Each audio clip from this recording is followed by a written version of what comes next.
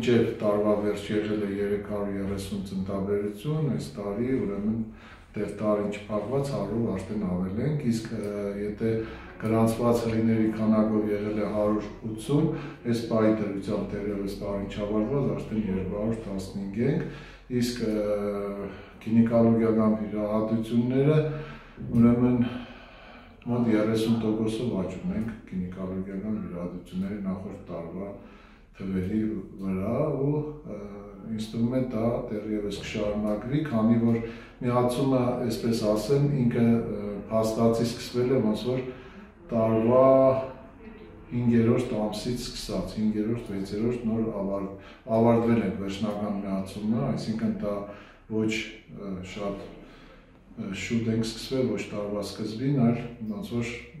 տարվա կեսից մենք նոր միացման հետևանքով այդ փոփոխությունները իրականացրել ենք եւ այս մասին մենք կարող ենք խոսել, որ այս տվյալները ընդհանուր տարվա ենք հա, համեմատում, բայց մի քանի ամսվա տվյալներ են, որոնք ցույց են տվել այդ փոփոխությունը իրական եւ դեր դերևս աճելու է, ինձ թվում է, քանի որ մենք նաեւ իրականացնում ենք մարզի հեռավոր շրջաններում ուրեմն այցեր, որտեղ կմասնակցեն նաև ոչ միայն մանկաբարձակ գինեկոլոգներ, այլ նաև մեր Գյումրի բժշկական կենտրոնի ներ մասնագետներ, ովքեր նաև սպասարկում են մեր բաժանմունքի այդ եւս մեկ առավելություն է, որ ցենտատան ուրեմն հարկ եղած դեպքում բոլոր հրիները կօգտվեն Գյումրի բժշկական կենտրոնի ներ մասնագետներից, դա անօտաբաններն են, ուրեմն թերապևտներն են, ու տարբերներ մասնակցում։ Շրջիկ մեքենայով եք, հա? Ոչ, մենք կազմակերպում ենք, որ տեղում Գյումրի բժշկական կենտրոնի մանկաբարձակինիկալոգիական բաժանմունքում շաբաթական մեկ մասնագետ տեղում լինի եւ բոլոր հեղիներին հսկողության տակ բայի, հարկ եղած դեպքում նաև լաբորատոր, ուրեմն սարկավորումները մեր բժշկական կենտրոնի կօգտագործվեն ու նաև ավտորոշիչ սարքավորումները, իսկ շրջիկ մեքենայի շնորհիվ այո, մենք իրականացնենք մարզում եւ թերավոր շրջաններում մենք արդեն մի հատ կանանային այց արել ենք ամառվա մոդեր, երբ ավարտեցինք մենք մոտ 12 գյուղ այցեր ենք կատարել ու մեծ քանակի հիվանդներ ենք նայել եւ նաեւ հղիներ եւ այդ այդ գործընթացը շարունակական է լինելու ուրեմն մարզդարանի առողջապահության վարչության հետ համատեղ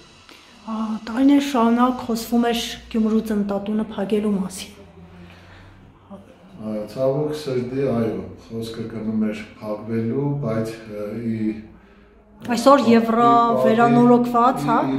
Շենք պատիվ նաև այո կառավարության ճիշտ որոշման այն առումով, որ շենքային տեսեք եզակի առաջի Հայաստանի Հանրապետությունում օպտիմալացումն էր, երբ շենքը չազատվեց, այլ շենքը համատեղ շենքով ուրեմն մնաց ծառայություն եւ այս շենքը վերջի այցերի ժամանակ ապացուցեց, որ այո ճիշտ է արվել, որ պահպանվել է,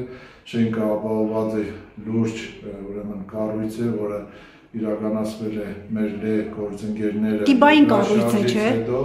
կառուցել են այս ուրեմն մոնոլիթ շենք է, որը ունի նկուղ, որտեղ հնարավոր է մեր թե երկրաշարժան, թե պատերազմական ժամանակները իրականացնել ամբողջ ծավալը եւ վիրահատություններ եւ հսկողություններ եւ այս տիպի շենքը ունեցող 8 տմուտք առանցին, որ չի խանգարում ոչ մեկը մյուսին, իրականացնել իրականում շատ լուրջ գործընթաց եւ միանշանակ ճիշտ որոշման հետևանքով ինքը այսօր ապրում է լուրջ զարգացումներ եւ դա լինելու է շարունակական, հույս կունենանք, որ հաջորդ տարվա մեր ներդրումները կբերեն ավելի ու ավելի նոր թե ուրեմն սարքավորումների ձեռքբերմանը, թե նոր տեխնոլոգիաների եւ թե նոր զարգացումների եւ նոր նաեւ ծառայություններ իրականացնի Գյումրու բժշկական կենտրոնի մանկաբարձակինիկալոգիական այդ ծառայությունը եւ ընդհանրապես շենքը կօգտագործվի ավելի երևի ճիշտ ուրիշ բոլոր տարածքները օգտագործվող կլինեն ի նպաստ մեր Շիրակի մարզի ազգաբնակչությանը։ Գյումրի ծննդատան ծննդատնից երբ պատրաստում ենք ռեպորտաժներ, առանձնագի դեպքեր կան, երբ զոհված հերոսների անուններով են կոչում զավակներին։ Այո, մենք ունենք այդ ոնց որ վերականգնվող մեր այդ կորցրած մեր զինվորների, հերոսների մահացած հերոսացած էս ուզում ասեմ, որ երբ որ ծնվում է երեխա այդ մեր 16 թվականին հիշում եք մեր Տիգրանի անունով ծնունդ եղավ, որը մինչև հիմա ընտանիքները շատ կապված եւ այդ մտնոլորտը գիտեք շատ ծանր մտնոլորտ է ընտանիքներին այդ կորցրած ավագների երբ որ մեկը ծնտաբերելուց այդ անուններ դրել այդ մտնոլորտը այնքան լավ է փոխված ու այնպես լավ կապ ունեն իրենք իրար հետ ու շարունակական ես տեղակ եմ քանի որ միշտ նաև ես եմ կապի մեջ ու տեսնում եմ ինչքան է կարևոր նոր կյանք ծնվել է եւ ասում եմ դա իրականում մեր այն տխուր այն մեր կորցրած հերոսների կողքին, երբ որ նոր ծնունդներ, նոր հերոսներ են ծնվում, դա ինձ թվում է մեր յուրաքանչյուր ընտանիքի ամենակարևոր քայլն է, որ կարողանան վերարտադրել եւ ծնողներին եւ իհարկե այն քանակը, որը կապահովի մեր Հայաստանի Հանրապետության բնակչության աճը ոչ թե նվազումը։ Դրա համար ռազմավարական ծրագրերի մեջ ընդգրկվում են առաջնահերթության ծնտատները եւ այդ ծրագրերի շնորհիվ է որ մենք կարողանանք այսօր փոփոխություններ իրականացնել նաեւ քանակական ինձ թվում է որ աճ ապահովելով մեր երկրին ինչքան է ուզում եմ մենք հող ունենանք, ինչքան է ուզում եմ մենք լավ սարքավորում ունենանք, եթե մենք չենք ունենում բնակչություն, եթե չենք ունենում այն քանակը, որը կապահովի անվնաս ու մեր սահմանները պաշտպանող բանակ, միանշանակ դա բոլորը պարզ պետք է հասկանան, որ դա կլինի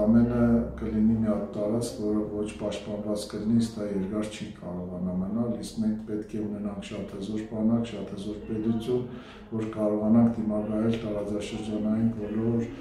այդ մարտահրավերներին, ինչ ինչ տեսնում ենք ու ինչ դերևս արկածումներ լինելու են։